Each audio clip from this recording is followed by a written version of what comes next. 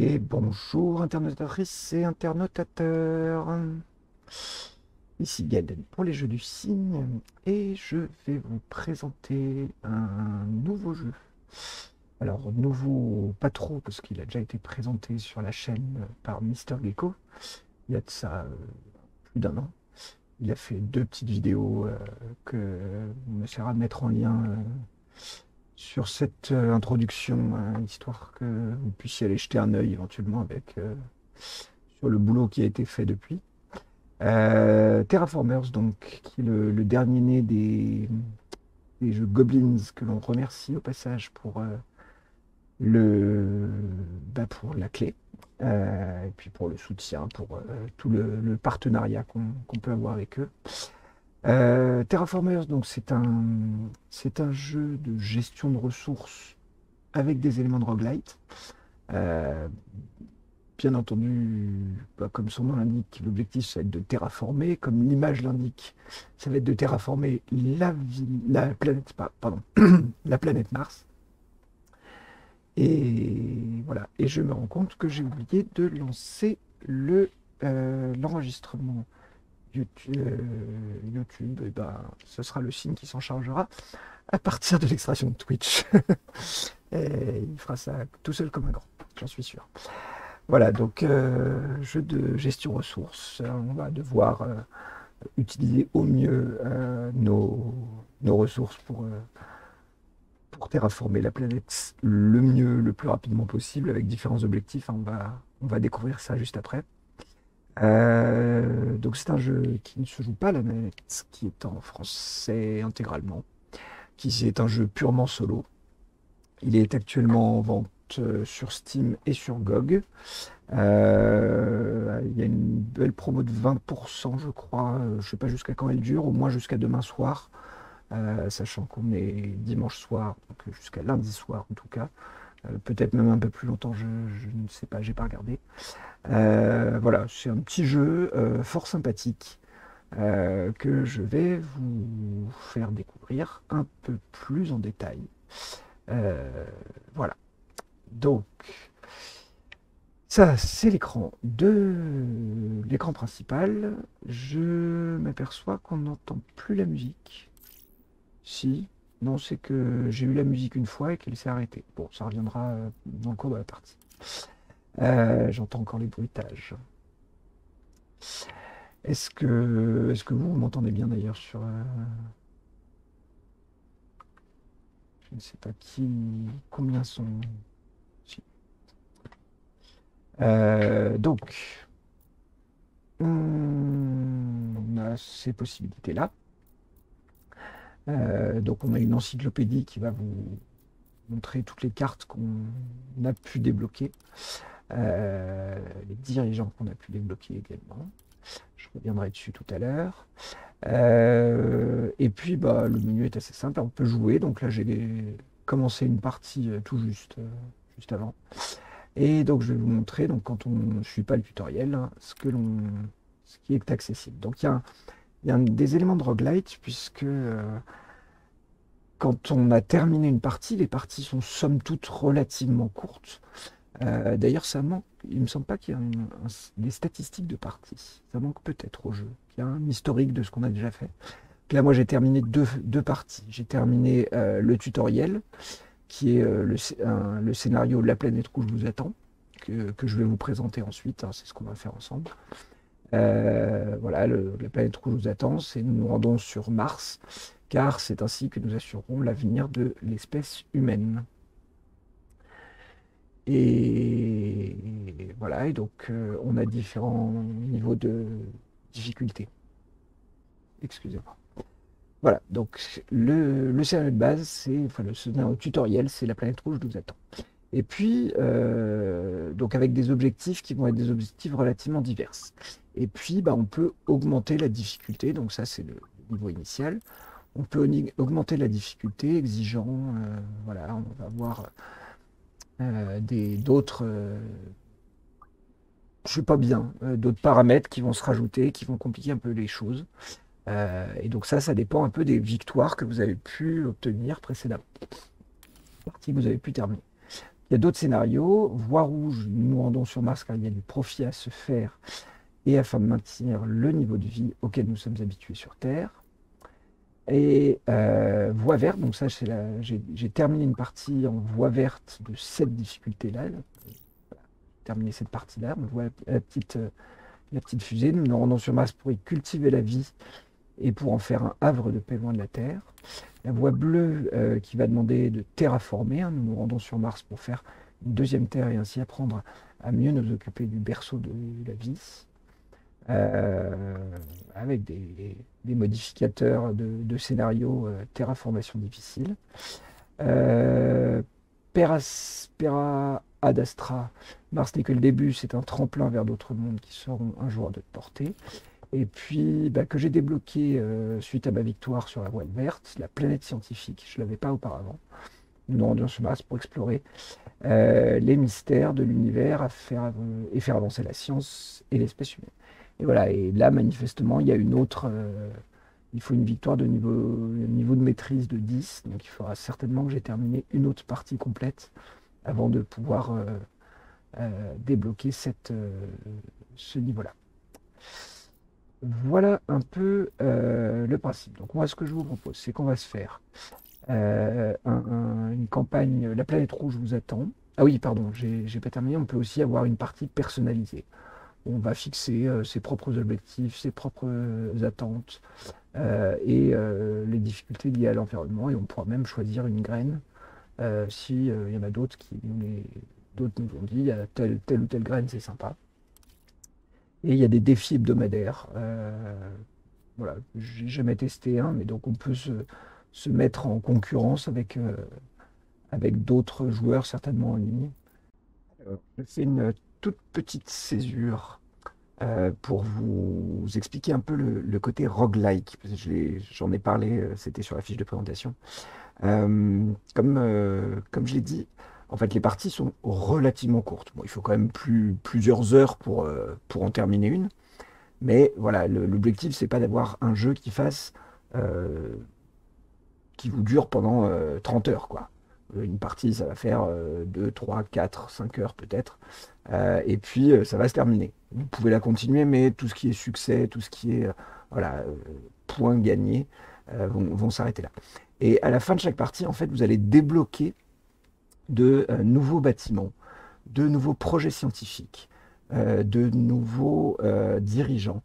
Donc là, je suis dans la, la Marcyclopédie, on peut à laquelle on, peut accéder pardon, sur l'écran principal. Euh, voilà, et donc vous voyez, il y, a, des emplacements vides.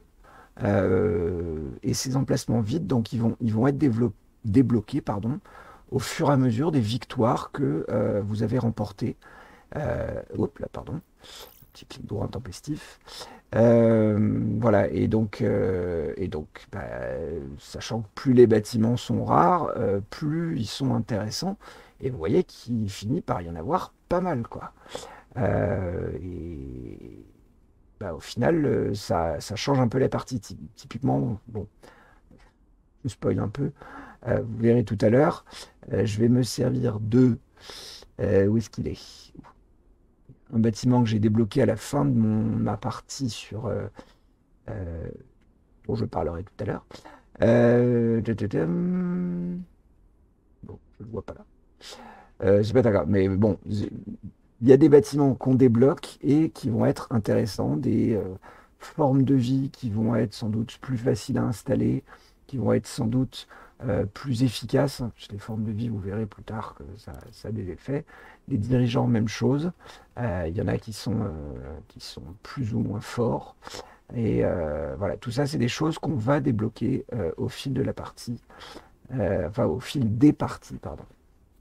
Et qui va vous permettre de euh, vous faciliter vos, euh, vos parties ou de, donner des, orientations un petit peu différentes. Voilà, donc on va démarrer. La planète rouge vous attend. Euh, en attente contraignante. Voilà, donc on va voir un peu plus de difficultés. Et c'est parti. Voilà, les chargements sont très rapides, avec des jolis, des jolis dessins. Bienvenue dans le projet de colonisation de Mars. Un petit pas pour les premiers colons, mais un bond de géant pour l'humanité. La navette vient d'atterrir et vos habitants sont prêts à s'installer sur la planète rouge. Tous les passagers sont conscients de l'importance historique de cette mission et des responsabilités qui pèsent sur eux. Leurs vies seront confinées à des dômes artificiels, mais ils sont là avant tout pour assurer un futur à l'espèce humaine. Il faudra du temps avant qu'un humain ne puisse respirer l'air martien, mais tout le monde va travailler sans relâche à cette fin. Hello Player One, bienvenue à toi, bienvenue ici, bienvenue sur le live. Est-ce que tu connais déjà Terraformers? Voilà, donc la Terre a envoyé des ressources pour débuter la colonie et a proposé des dirigeants qui vous représenteront sur Mars. Bonne chance. Voilà, et donc là, on n'a qu'un seul choix sur, euh, sur les autres scénarios. On peut avoir euh, plusieurs choix de départ pour avoir des, ressources différentes. Donc on va avoir de l'énergie, de la nourriture, de l'eau et du titane. D'accord. Eh ben, tu es là pour découvrir. Tant mieux. C'est ce qu'on va faire ensemble. Moi, je l'ai déjà un peu découvert, hein. mais euh, pour pouvoir vous le présenter, euh, c'est un petit jeu fort sympathique et j'espère que euh, ça, te, plaira et que ça t'intéressera. N'hésite pas à poser des questions euh, si tu en as pendant le, courant de la partie, enfin de ce début de cette présentation. Voilà, donc on a ces ressources-là pour commencer, une serre et un module d'habitation. Et c'est parti. Alors, voilà l'interface. La première chose que l'on doit faire, c'est choisir un dirigeant. Mais avant ça, donc je vais vous montrer un peu euh, quelles sont les informations. Alors, vous avez vos objectifs de victoire, ils sont là. Euh, on va devoir développer le soutien des, colons, euh, on va devoir développer les ressources, les points de ressources additionnés. Je ne sais pas trop ce que c'est, je ne sais pas trop la différence entre les deux. des routes commerciales, des routes commerciales depuis des mines, des nombres totaux de projets suggérés ou étudiés, et euh, des échelons de terraformation euh, qui sont indiqués euh, là-dessus sur la droite. Donc il y a quatre échelons de terraformation, la température, l'oxygène, le niveau des océans et l'atmosphère. Plus ces niveaux sont développés, bah, plus ça va nous rapporter des points d'influence. Pour remporter la partie, vous devrez fonder une société martienne autonome Obtenez un total de 600 points de victoire, calculé à partir du confort de vie de vos habitants, du dynamisme de votre industrie, de votre capacité commerciale, de vos avancées scientifiques, ainsi que vos progrès de terraformation. Sachant donc qu'on a des attentes qui sont contraignantes. Alors les attentes, euh, elles apparaissent ici. En fait, euh, c'est une barre qui va évoluer au fil de la partie. Et euh, régulièrement, eh ben, ça va faire passer un cap. En fait, ça va augmenter les chances à chaque tour que les attentes de la population augmentent. Et quand les attentes augmentent, eh ben ça diminue euh, notre soutien général. Donc il faut euh, proposer des situations qui permettent à nos colons de, d'accepter leur, leur, vie sur Mars. Voilà, là vous avez vos ressources, nourriture, énergie, science, eau, nitrate, silicate, titane, tritium. Euh, vous allez avoir vos routes commerciales que vous allez débloquer au fil de la partie. On va en avoir une très très rapidement hein, sur un event. Vous avez le menu ici, a un bug, vous pouvez reporter. Donc les niveaux de terraformation, j'en ai déjà un peu parlé. Euh, il me semble donc qu'il y en a trois pour, euh, pour chaque... ouais, il me semble peut-être 5 pour l'atmosphère, il y en a peut-être plus que, plus que 3. Euh, mais il y a 3 niveaux pour la température, pour l'oxygène, pour les océans. Euh, à chaque fois que vous arrivez à augmenter l'un de ces niveaux, bah, ça va vous donner plein de points de soutien. Euh, voilà, et puis ça fait partie de l'objectif là. Et puis ça va faciliter la vie, améliorer un certain nombre de conditions. Ça va vous permettre de terraformer euh, votre, euh, votre petite planète rouge. Euh, là, vous allez avoir toute la gestion des actions restantes de votre dirigeant et la fin de tour. Et puis en bas, vous avez vos cartes qui correspondent au projet que vous allez pouvoir, au bâtiment que vous allez pouvoir construire. En gros, ça sera soit des bâtiments sur votre, sur votre planète principale, dans votre ville, enfin vos villes, pardon, soit des bâtiments que vous allez placer, vous allez pouvoir placer sur les zones que vous voyez autour. Euh, soit tout à l'heure, il y aura aussi des projets spatiaux qui vont se développer, il y aura des découvertes scientifiques, etc. En gros, voilà, tout, ce qui est possible. Alors, on va ouvrir l'écran des dirigeants et donc on va choisir notre premier dirigeant. Donc, en fait, tous les 10 tours, vous allez changer de dirigeant. Euh, sachant qu'un tour, c'est une année. Hein. Donc, un dirigeant est là pour 10 ans. On est en 2050 pour commencer. Euh, voilà, donc ils ont chacun un background que je ne vais pas lire en entier à chaque fois. Euh, on a un spécialiste de la sécurité et un spécialiste de la construction. Chaque dirigeant a trois compétences et une spécialisation. La spécialisation va être conservée au fil de la partie. Donc vous allez accumuler, ça, apparaîtra ici sur votre écran, vous allez accumuler des spécialisations et puis des, des, buffs généraux. Euh, donc celui-ci, euh, dès que vous augmentez votre rendement d'eau de 1, de 3, pardon, ben, ça va faire plus 1, euh, plus 1 de production d'eau. lui, ça aide à construire les bâtiments régionaux. Donc les bâtiments régionaux, c'est ceux qu'on place sur les, les zones ici. Et ensuite, ils ont tous une action d'exploration. C'est la première, alors parfois qui, enfin, qui, donne des buffs qui ne sont pas forcément les mêmes euh, d'une fois sur l'autre. Et puis, euh, ils ont des actions. appartement modulaire. Ouais.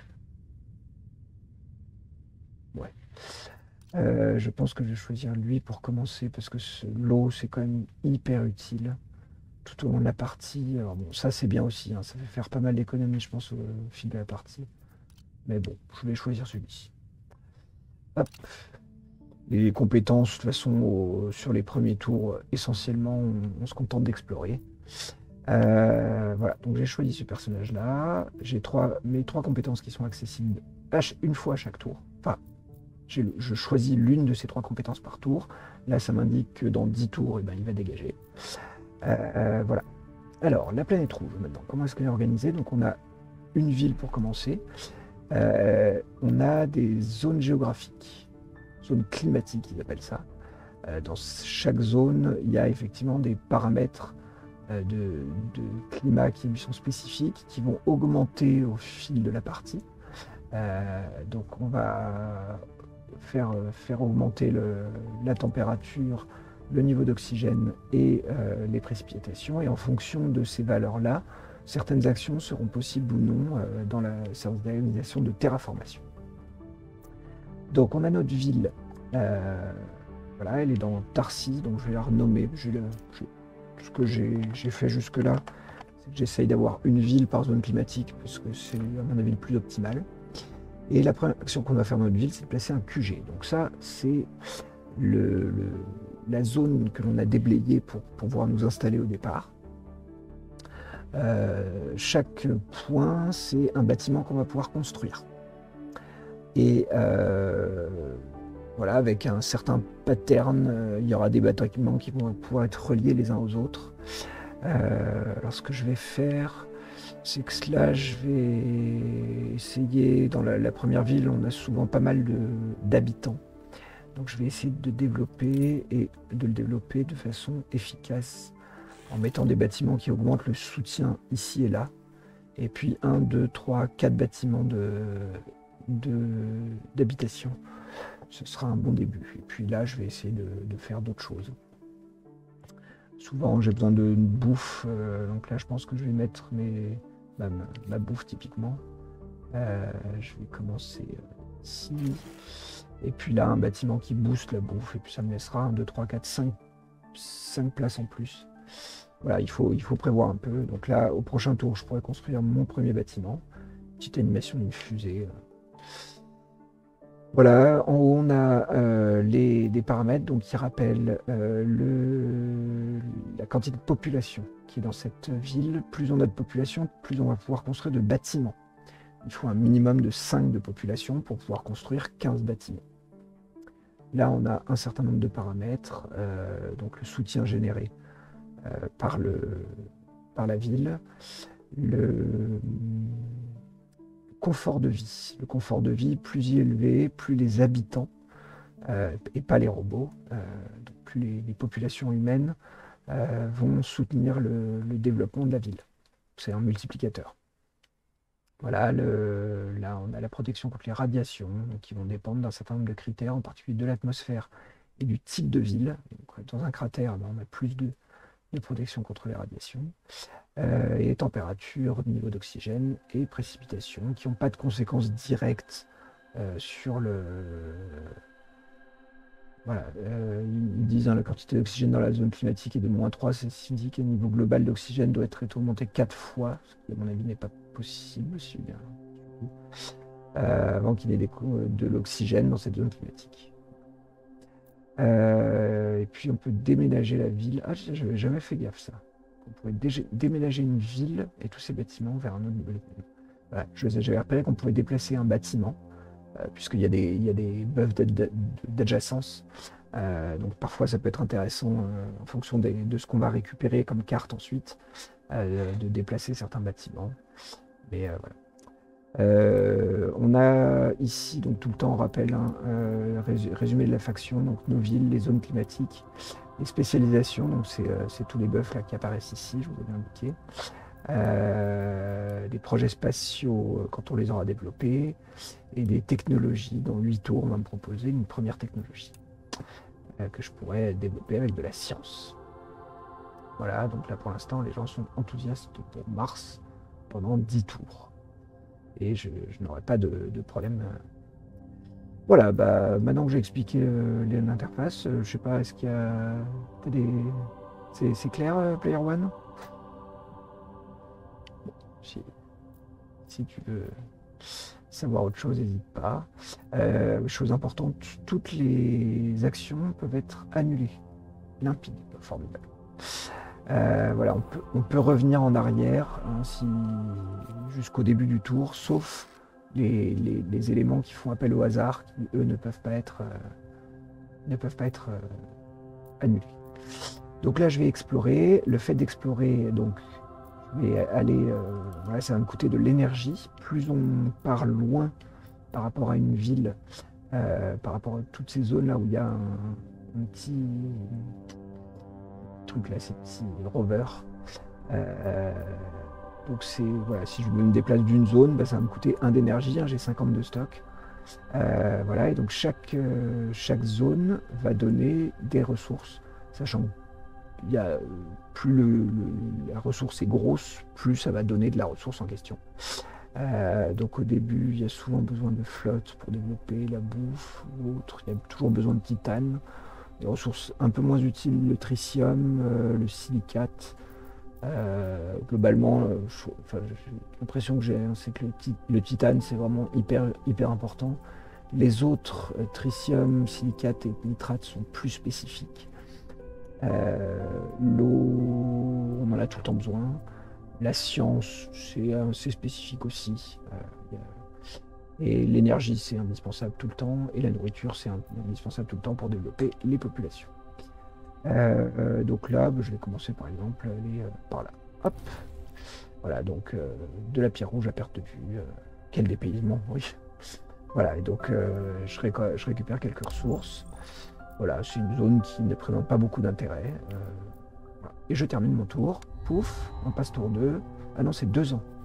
Alors à chaque tour, on nous propose un projet supplémentaire. Euh, donc ça, ça va me donner de la bouffe.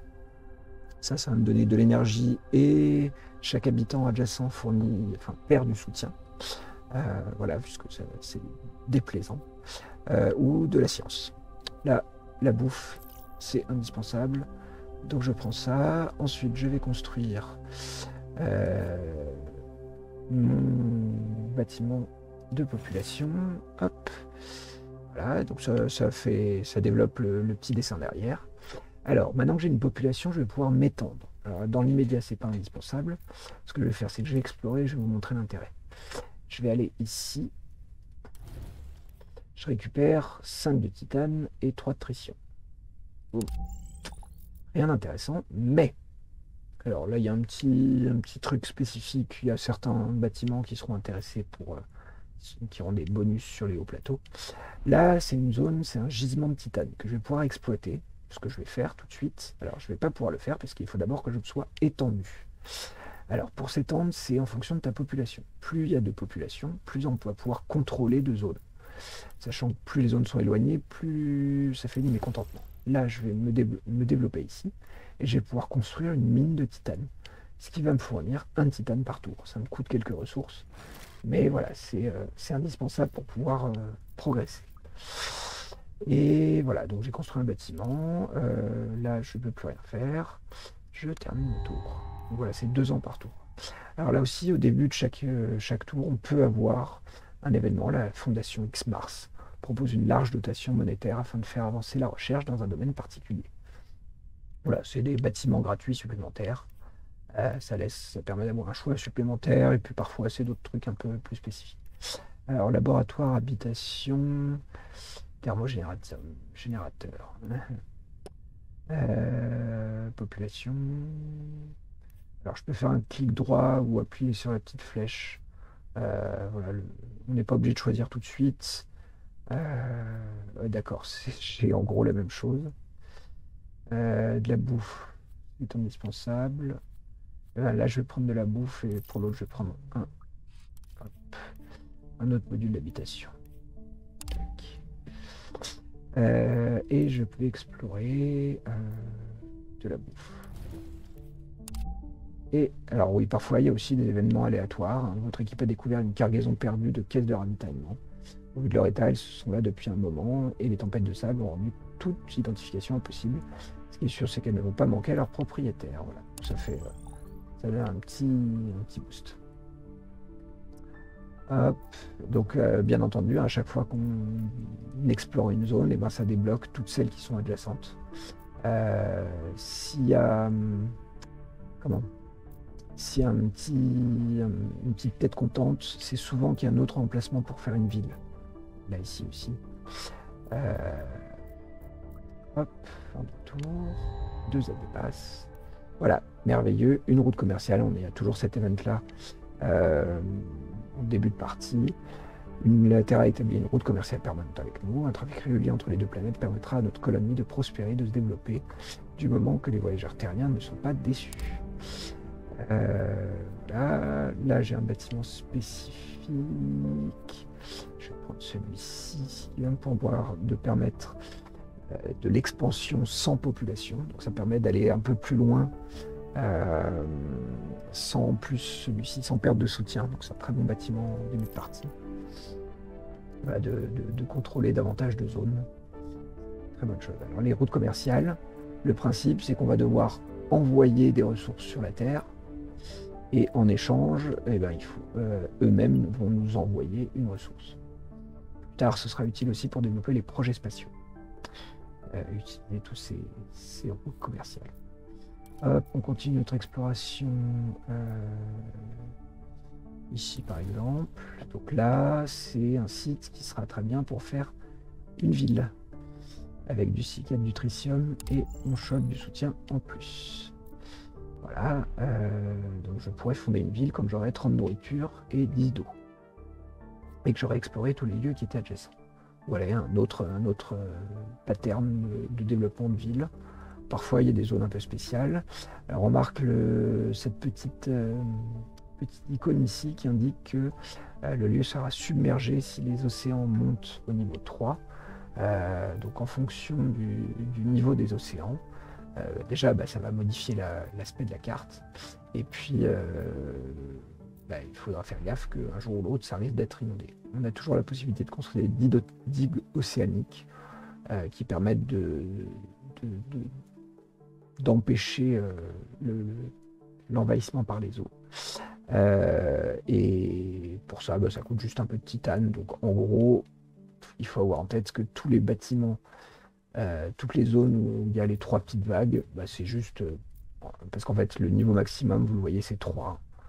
Euh, donc on perdra réellement, euh, on ne pourra pas perdre les zones qui sont euh, qui, ont les, trois petites les trois petites athlètes, il suffit de construire les lignes. Voilà. Alors je peux construire éventuellement la zone mais pas tout de suite.